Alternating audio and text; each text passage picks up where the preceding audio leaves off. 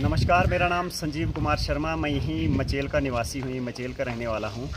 तो जैसे कि हम सभी जानते हैं, कल से 25 जुलाई से ऑफिशली तौर पर मचेल माता की जो यात्रा है 5 सितंबर तक चलेगी ऐसे तो बैसाखी के बाद जैसे भवन खुलता है, चंडी माता का तो यात्री यहाँ पर आना शुरू हो जाते हैं। लेकिन मैं शुक्रिया करना चाहूँगा डिस्ट्रिक्ट एडमिनिस्ट्रेशन का, खास करके हमारे डॉक्टर देवंश यादव सर, जिन्होंने काफ़ी ज़्यादा मेहनत मशक्क़त के बाद काफ़ी अच्छे अच्छे इनिशिएटिव लिए यहाँ पर। सबसे पहले मैं आपको बता दूँ कि यहाँ पर जो ये पीछे आपको हमारे दिखाई दे रहा होगा आ, सोलर प्लांट जी हाँ 30 किलोवाट का सोलर पैनल जो आज कल में लग के यहाँ पर हर गाँव को हर घर को हर माफ़ कीजिएगा हर घर को मचेल के हर घर को मंदिर को बिजली जो है पूरी तरह से दे दी जाएगी। और एक और खुशी की बात है खास करके लिए मचेल तहसील के लिए पूरे। कल से एयरटेल का जो टावर था यहाँ पर वो भी शुरू हो गया, जिसकी वजह से लगभग पूरी पंचायत एक किस्म से हम कहेंगे कि कवर हो गई। तो इसके लिए भी मैं पूरा पूरा श्रेय देना चाहूँगा डॉक्टर देवांश यादव सर। और मैं बधाई देना चाहूँगा ये डबली हमारे सुधीर सर जी हैं, जो दिन रात जिन्होंने मेहनत करके